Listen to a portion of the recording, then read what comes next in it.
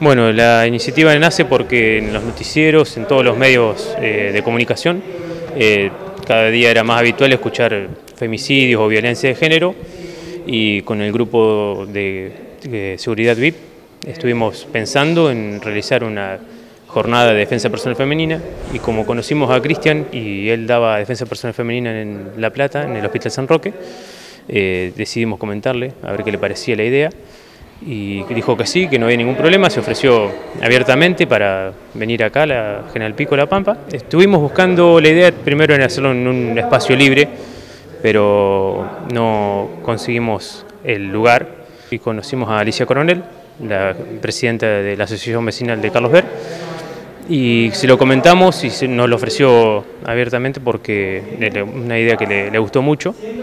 Eh, entonces nos ofreció la llave, coordinamos día y hora y no tuvo ningún problema. Y las mujeres para venir a asistir a la clase necesitan venir con ropa cómoda, no precisen estar en estado físico, eh, ganas de participar, porque es lo que se va a hacer, y después estar atentas. Se va a seguir practicando esto, sería cuestión de coordinar y las clases se van a tratar de, el seminario este, se va a tratar de repetir una vez al mes, por lo menos, si se puede. La primera en, La Pampa, eh, me han dicho los custodios de Centinela, así que agradecido porque nos hayan invitado.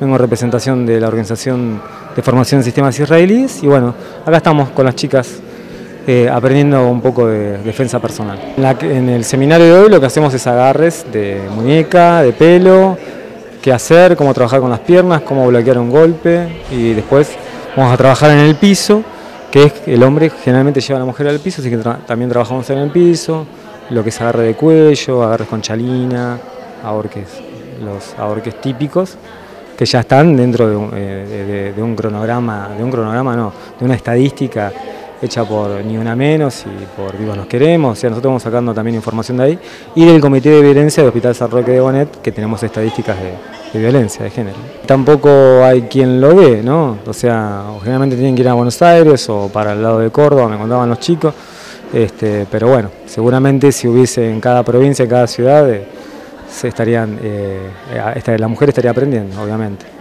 Exactamente, la defensa personal israelí eh, en Office se pasa al sistema civil y le damos defensa eh, femenina a las mujeres del país. ¿no?